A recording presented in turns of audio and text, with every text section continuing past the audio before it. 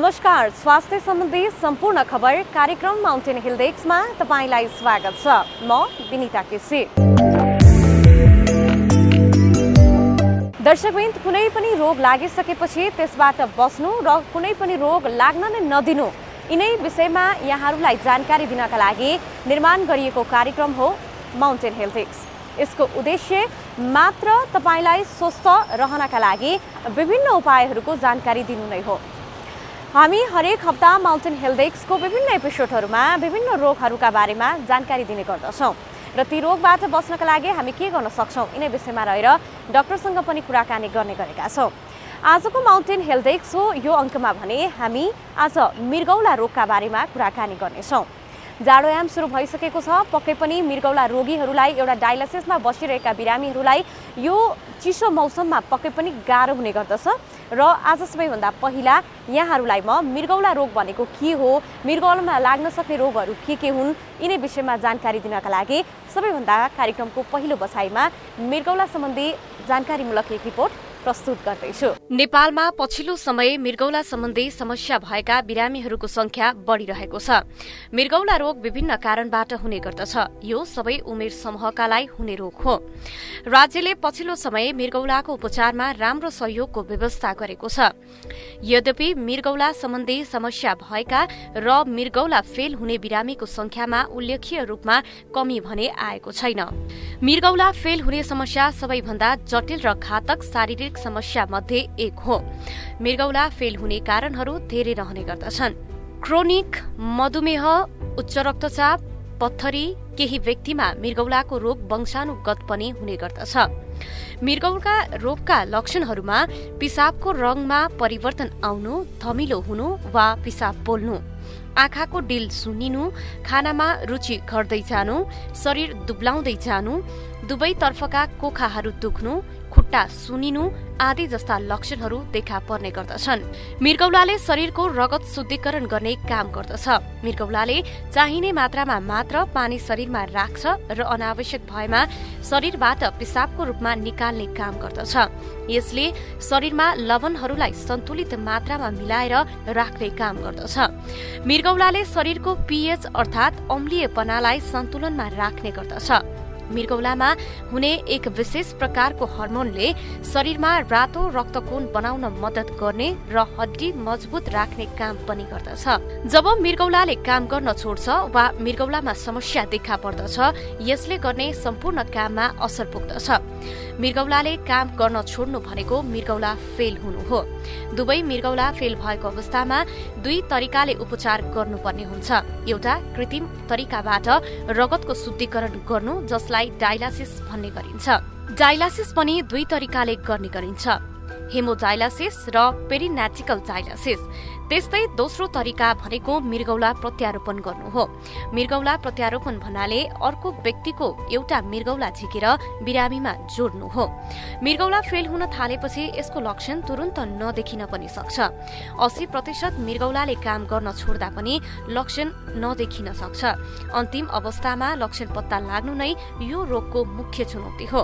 प्रत्यारोपण गर्नु मात्र गाह्रो कुरा होइन त्यसपछि पनि मृगौलालाई र बिरामीलाई बचाइराख्नु झन चुनौतीपूर्ण रहने गर्दछ। मृगौला प्रत्यारोपणमा सबैको दाता नहुँदा धेरैले अकालमा ज्यान गुमाउनु पर्ने बाध्यता रहँदै आएको छ। सकेसम्म रक्तचाप पिसाब र रगतको वर्षेनी परीक्षण गर्नाले यस रोगबाट बस्न सकिन्छ। यसो गर्दा मृगौला सम्बन्धी समस्या देखिएमा तत्काल चिकित्सकको परामर्श लिन सकिन्छ। खास गरी मृगौला खराब हुने उच्च जोखिम भएका व्यक्तिहरू उच्च रक्तचाप मधुमेह र वंशानुगत मृगौला सम्बन्धी समस्या भएका परिवारले नियमित परीक्षण गर्नु अनिवार्य हुने गर्दछ। यस्तै तीस वर्ष पुगेका व्यक्तिले पनि रक्तचाप पिसाब र रगतको परीक्षण गराइरहनाले यस रोगबाट बस्न सकिन्छ। दर्शकबिन भर्खरै मात्रै हामीले यहाँहरूलाई किडनीमा लाग्न सक्ने रोग र किडनीमा विभिन्न सङ्क्रमण किन हुन्छ त? यिनै विषयमा रहेर भर्खरै एउटा जानकारीमूलक रिपोर्ट प्रस्तुत गरिसकेका छौँ। अझ एउटा किडनी अर्थात् मृगौलामा सङ्क्रमण भइसकेपछि एउटा त्यसमा डायलिसिसको प्रोसेस हुन्छ। किडनी ट्रान्सप्लान्टका कुराहरू हुन्छन्। यस्ता धेरै कुराहरूमा पनि एउटा किडनी यानि कि आफ्नो मृगौला एउटा व्यक्तिले अर्को व्यक्तिलाई दान गर्दाखेरि वा त्यो व्यक्तिले आफ्नो शरीरमा त्यो मृगौला चाहिँ लिइसकेपछि चाहिँ ख्याल गर्नुपर्ने कुराहरू के के हुन् त?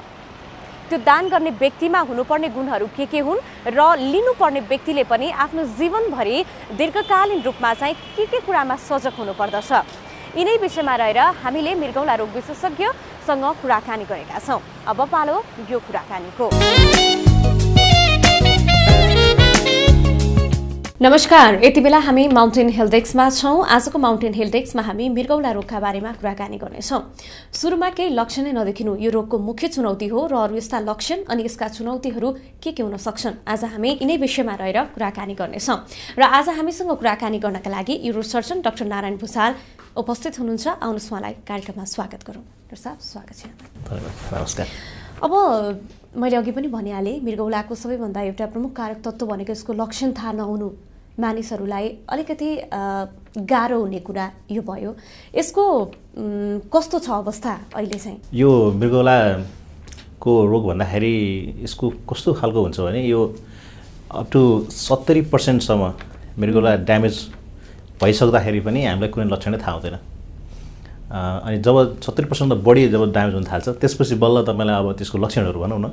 त्यो मृगौला काम भनेको त फोहोर फाल्ने हो। फोहोर फाल्न नसकेपछि त्यो वेस्ट प्रडक्टले गर्दाखेरि तपाईँको इरिटेबिलिटीहरू हुने राम्रोसँग निद्रा नलाग्ने सास फेर्न गाह्रो हुने छातीमा पानी जम्ने खुट्टाहरू सुनिने मुखहरू सुनिने होइन? यावतहरू समस्याहरू आउँछ हेमोग्लोबिन कम हुने यस्तो कुराहरू आउँछ। यसको यसमा जस्तो अहिले पछिल्लो तथ्याङ्कहरू हेर्ने हो भने जस्तो महिला वा पुरुषमा कसमा बढी देखिएको कस्तो छ यो चाहिँ? अहिले जेन्डरमा त खासै त्यस्तो डिफ्रेन्स देखिँदैन। नेपालमा वर्षेनी तिन हजारदेखि चार हजारसम्म एक्ज्याक्ट हामीसँग डेटा छैन। मानिसहरूको मृगुला चाहिँ completely end stage renal disease भन्छौँ हामी त्यसलाई। त्यो भनेको उनीहरूलाई चाहिँ डायलाइसिस चाहिने अथवा ट्रान्सप्लान्ट गर्नुपर्ने। त्यो चाहिँ कम्प्लिटली फेल भएको मान्छेहरूलाई भन्छौँ। त्यो त्यस्तो खालको डेटा छ। तर अब मृगलाको समस्या नभएको भएको आँकडा चाहिँ हामीसँग एक्ज्याक्ट छैन। त्यो चाहिँ मच हायर लेभलमा छ। यसमा जस्तो यहाँले अघि बताउनु भयो कि सिम्टमहरू अरू पनि केही हुन्छन् लक्षणहरू? यसको बेसिकली त्यही नै हो। अब तपाईँको यो मृगलाको मेन काम चाहिँ तपाईँको अब यो फिल्ट्रेसन गर्ने वेस्ट प्रडक्टलाई फाल्ने होइन? अनि बडीमा हेमोस्टाइस मेन्टेन गर्ने भन्छौँ हामी। अब त्यो गडबड हुन साथै तपाईँको त्यही नै अब त्यो म अहिले भने तपाईँलाई सिम्टम्सको कुरामा चाहिँ इरिटेबिलिटीहरू अब तपाईँको डिफिकल्ट इन ब्रिथिङ हुन्छ तपाईँको सास फेर्न गाह्रो हुने खुट्टाहरू सुनिने होइन? अनि त्यसपछि तपाईँको चेन्जेसहरू आउने। जस्तो अब कुनै न कुनै रोग लाग लाग्नका लागि त्यसमा एउटा कस त पक्कै पनि हुन्छ त्यसको पछाडि होइन?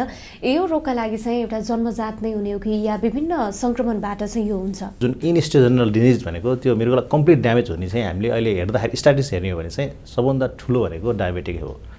Up to forty percent people होइन? डायबिटिकले गर्दाखेरि मृगौलालाई ड्यामेज गर्छ भने त्यसपछिको अर्को नम्बर वान कज भनेको तपाईँको नम्बर टू कज भनौँ न त्यो भन्दाखेरि तपाईँको hypertension uncontrolled hypertension भयो भने भनेपछि त्यसले चाहिँ अप टु थर्टी पर्सेन्टसँग गराउँछ भनेपछि डायबेटिक र हाइपर टेन्सन एलोन तपाईँको त्यसले गर्दाखेरि त मलाई सेभेन्टी पर्सेन्ट तपाईँको किडनी ड्यामेज गर्छ भने अरू पनि रोग छ। मेरो आफ्नै रोगहरू छ क्लोमिनेफ्राइटिस भन्छौँ दसदेखि पन्ध्र पर्सेन्ट त्यसले गर्छ।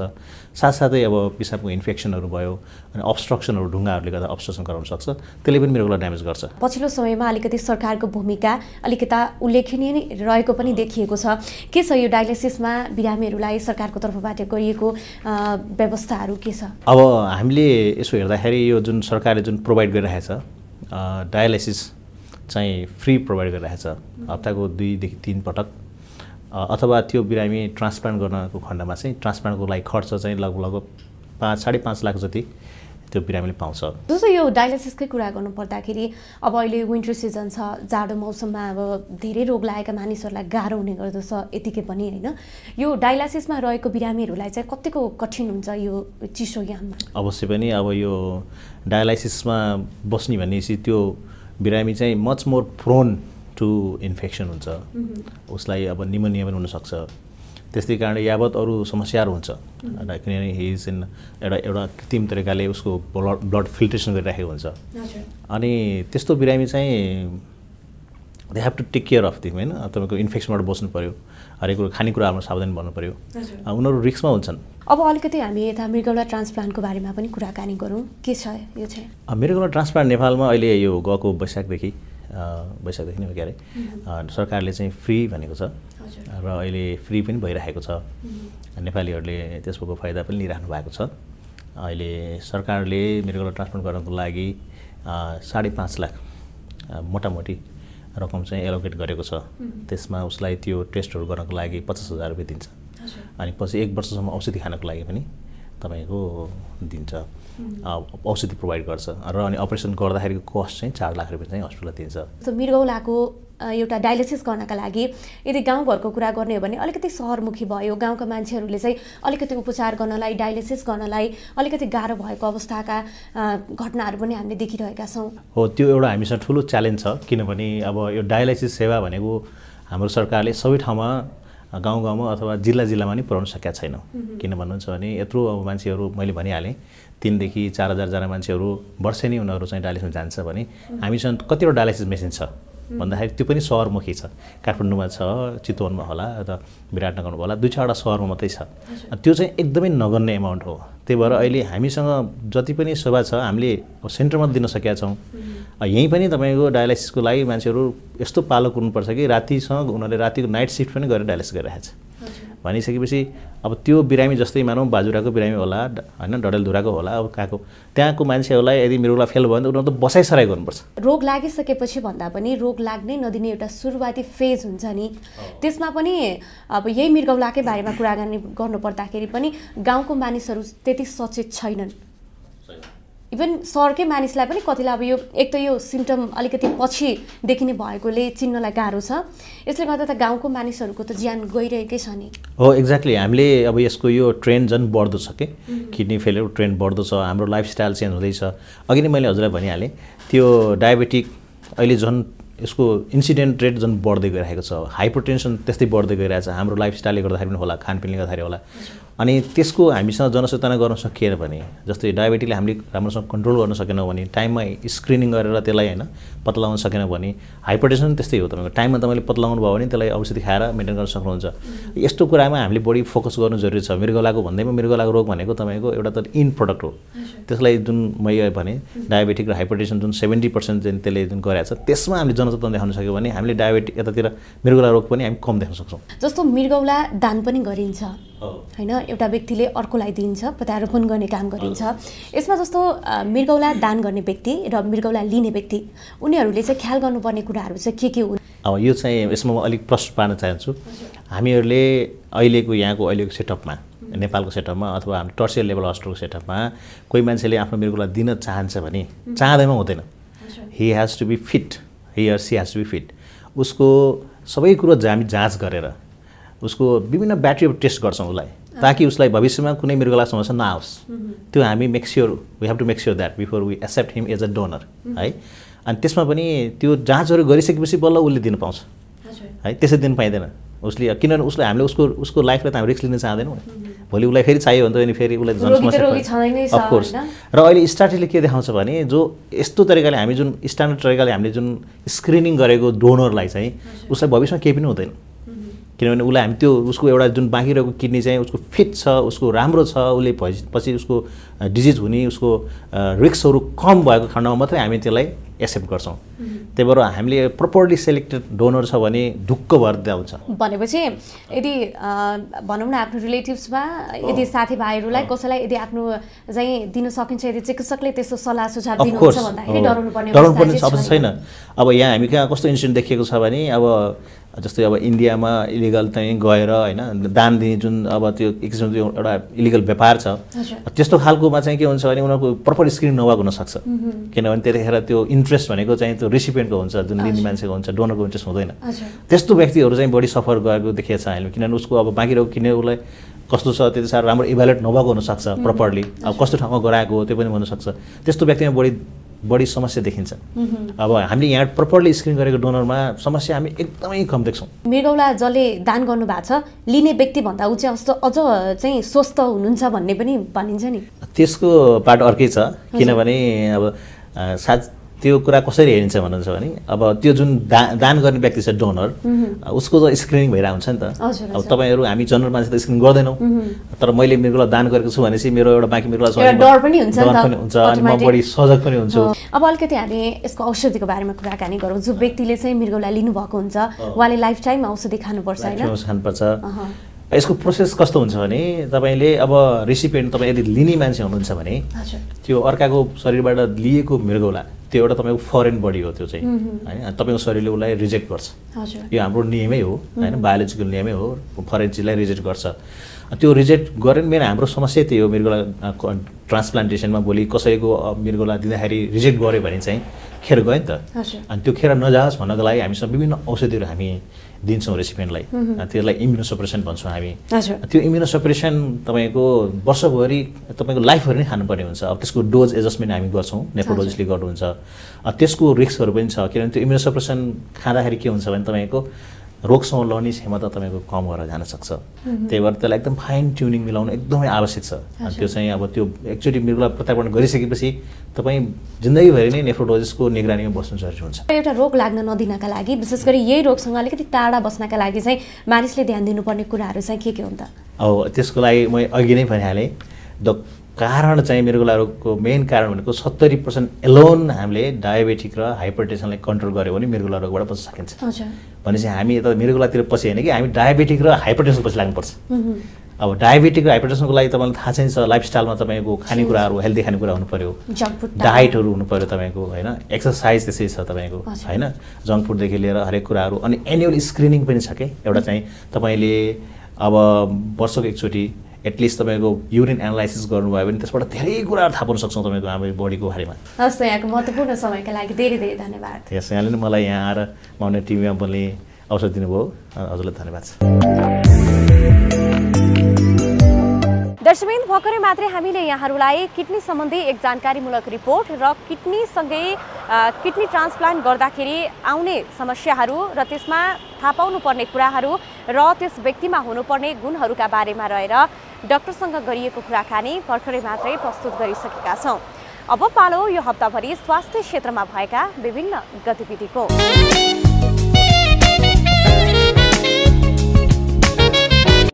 बेवारिसे बिरामीले सेवा पाउनु हुँदैन भन्ने आशय होइन। तर यस्ता बिरामी व्यवस्थापन गर्ने विषयमा सरकारवाला निकाय गम्भीर नहुँदा यो समस्या जटिल बन्दै गएको छ।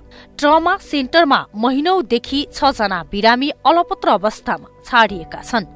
बेवारिसेले महिनौ महिना बेड ओगर्दा अन्य बिरामी समेत सेवा पाउनबाट वञ्चित हुने गरेका छन्। सडकबाट अस्पतालमा ल्याएर प्रहरीले छाड्ने गरेको र त्यसपछिको सबै जिम्मा अस्पतालको भएकाले बेवारिसे बिरामीको समस्या अत्यन्तै जटिल बन्दै गएको अस्पतालको भनाइ छ। कतिपयले बिरामी भएका आफन्तलाई अस्पताल वा यसको छेउछाउमा लगेर त्यत्तिकै छाडिदिन्छन् र सम्पर्कविहीन हुन्छन्। खास गरी प्यारालाइसिस स्पाइनल इन्जुरी र यस्तै जटिल रोग लागेका आफन्तलाई त्यसरी छाडेर हिँड्ने गरेको पाइएको छ। जसको उपचारमा समेत कठिन हुने गरेको उपचारमा खटिएका चिकित्सक बताउँछन्। प्रहरीले अस्पतालसम्म ल्याएर छाडिदिए पनि उपचारपछि जाने ठाउँ नहुँदा अस्पतालको बेडमा बस्न बाध्य भएको त्यस्ता बिरामीहरू बताउँछन्। अस्पतालको सामाजिक इकाइ समिति मार्फत त्यस्ता बिरामीको उपचार त हुन्छ तर व्यवहारिसै बिरामीकै लागि मात्र भनेर काम गर्ने सरकारको कुनै संघ संस्था नभएको स्वास्थ्य मन्त्रालयले स्वीकार गरेको छ। कुरुवाको अभावमा त्यस्ता बिरामीहरूले राम्ररी उपचार पाउन गाह्रो हुने गरेको पाइन्छ भने दीर्घ रोग लागेका बिरामीका लागि भने पुनर्स्थापना केन्द्रको आवश्यकता छ। यसबारे सरकारले बेलैमा कदम चाल्नुपर्ने देखिन्छ। दर्शकबिन हामी हरेक हप्ता माउन्टेन हेल्थ डेस्कमा यहाँहरूलाई सम्बन्धित यहाँहरूकै जनजीवनसम्म सरोकार राख्ने विभिन्न हेल्थ टिप्सहरू पस्कने गर्दछौँ। ती हेल्थ टिप्सको माध्यमबाट यहाँहरूको स्वास्थ्य लाभ लिनका लागि यहाँहरू सक्षम हुन सक्नुहुनेछ भन्ने हाम्रो एउटा सानो आशा र अपेक्षा पनि रहेको छ। अब पालो हेल्थ ग्यास्ट्रिक भएकाहरूले ध्यान दिनुपर्ने कुराहरू। कागती पानी पेटमा धेरै ग्यास भएको अवस्थामा कागती पानी पिउने। यसले ग्यास हटाउने काम गर्छ र पेट फुल्न दिँदैन। खाली पेटमा कागती पानी खानाले पेटमा ग्यास कम हुन्छ। कार्बोहाइड्रेट कम खाने। पेटमा ग्यास जमेर पचाउन गाह्रो पर्ने भएकाले बियर वाइन मकै राजमा बन्दा प्याज जस्ता खानेकुराबाट टाढै बस्नु उपयुक्त हुन्छ। दुध नपिउने। ग्यास्ट्रिक भएकालाई दुधले फाइदा गर्दैन। पचाउन गाह्रो पर्ने भएकाले दुध नखानु नै बेस हुन्छ। दही र अन्य दुधबाट बनेको परिकार खानु राम्रो हुन्छ। प्रशस्त पानी पिउने लगातार पानी पिउँदा पेटमा ग्यास जम्मा हुन पाउँदैन र जिउमा समेत पानीको सन्तुलन कायम राख्छ। पानीको सट्टा कोक फेन्टा जस्ता कोल्ड ड्रिङ्क्सको प्रयोग गर्नु हुँदैन। यसले पेटमा ग्यास बढाउँछ। लसुन पानी बिहान उठ्नासाथ दुई तिन पोटी लसुन पानीसँग मिल्ने हो भने ग्यास्ट्रिक भएकाहरूलाई फाइदा गर्छ। उक्त रक्तचाप भएकाहरूलाई समेत यसले फाइदा गर्छ। खाना समयमा खाने ग्यास्ट्रिक भएकाहरूले सकेसम्म प्रत्येक दुई घण्टाको फरकमा खाना खाने। लामो समय केही नखाँदा पेटमा हावा भरिएर यसले समस्या उत्पन्न गर्छ। हस् त माउन्टेन हिलदेखि आजलाई यति नै। अर्को हप्ता स्वास्थ्य सम्बन्धी सम्पूर्ण जानकारी लिएर म विनिता पुनः उपस्थित हुने नै छु। आफ्नो स्वास्थ्य पहिलो प्राथमिकता यही भन्दै म विनिता आजलाई माउन्टेन हिल डेस्कबाट बिदा चाहन्छु। माउन्टेन टेलिभिजन हेर्दै रहनुहोला। नमस्कार।